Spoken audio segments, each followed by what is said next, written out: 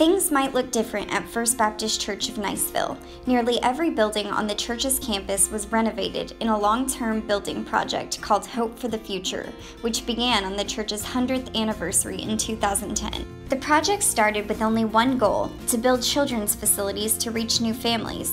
Because of the church's generosity and help from the construction company, it developed a plan for a new children's building, youth group worship area, renovated classrooms, youth fellowship space, and renovations to the existing campus for new adult Sunday school classrooms.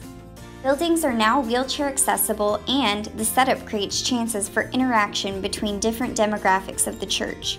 For the children and youth, there are many updated classrooms and worship areas, kitchens, and indoor and outdoor playgrounds with age appropriate equipment. For safety, the classrooms and hallways have security cameras, the classrooms can accommodate for sensory deprivation, and there is a curbside drop off location.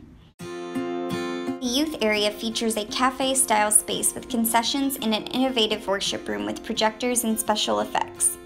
The adults also have access to renovated classrooms and worship spaces. One common area features a large cross built from sinker cypress that hangs from the ceiling. Some of the rooms have a waterfront view of Boggy Bayou, including a small prayer chapel.